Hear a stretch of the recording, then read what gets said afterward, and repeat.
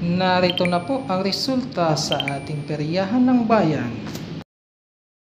At huwag nyo naman pong kalimutang i-subscribe ang aking channel. Sana all.